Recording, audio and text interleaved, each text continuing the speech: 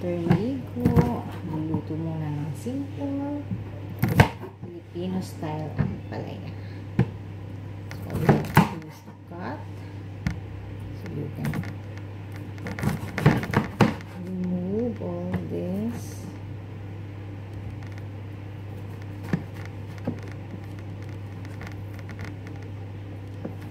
Hmm.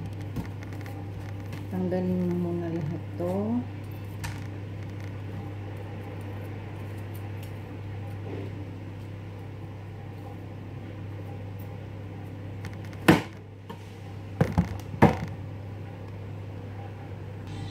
After yung tanggalin lahat ng gan, nasa gitna. So, chop na. Let's chop it.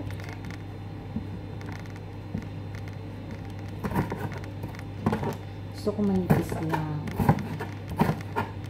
Isang.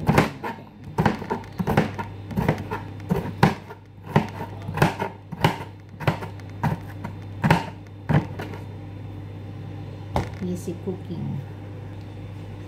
Kung gusto niyo rin siyang lahukan ng ibang mga vegetable, ayan, pwede niyo rin siyang lahukan. Ako, gusto ko siyang lagyan nito sa gir-gir. So, check lang natin. Para lang magkaroon ng ibang gulay. Okay. Of course, bawang, sibuyas. Chop lang din natin yan. Yan. Kung gusto niyo rin siyang hiwa sa mga luya, ito. Chop ka din ng mga little pieces ng luya. Okay? Then, of course, hugasan niyo yung gulay. Hugasan niyo. Running water. Okay. Hugasan nyo lang.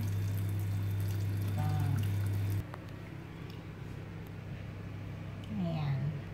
Ready to saute na po siya. Hmm? Ang palaya, gear-gear, then oh, uh, sibuyas, bawang, at saka luya. Tapos, it depends on you kung ang gusto nyo ilahok is beef or chicken, lakmukan nyo ng konti para medyo may konting sahog. Okay. Ayan, ready to saute na po tayo. Painitin na po yung kaldero. Okay.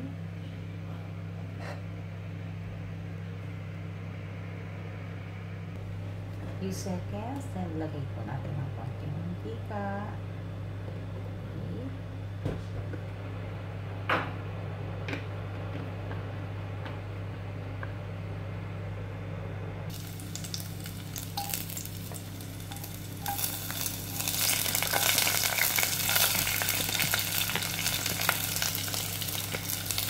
Lalagyan na po natin yung sibuyas, bawang,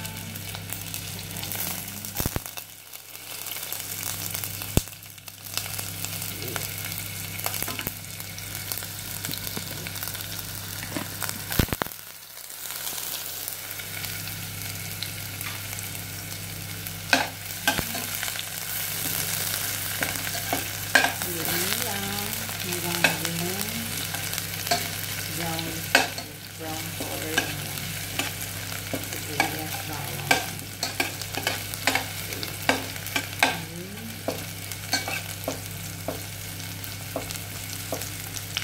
After that, you can cook the beef or the chicken.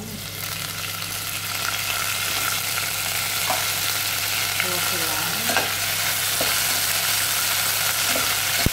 Cook lang natin siya.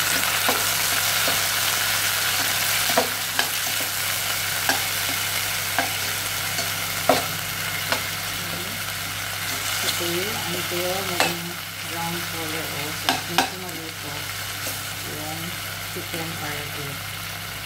I choose. Ayan.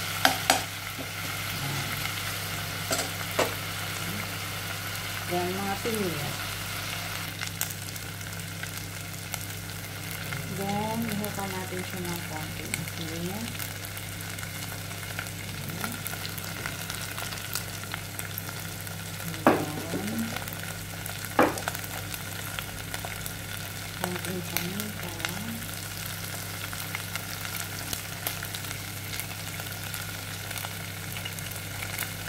Para titira.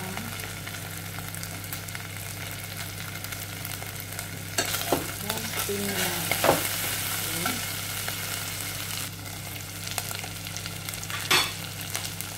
Yan, lagyan na. ang kailangan.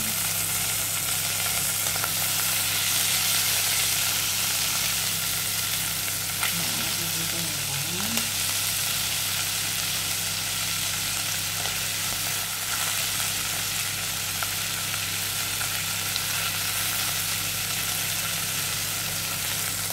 Hanggang haluin nyo lang ulit. Natin nyo. Sipin nyo lang until maging uh, maluto na konti yung vegetable. Okay. This is how to cook a simple Filipino style ampalaya.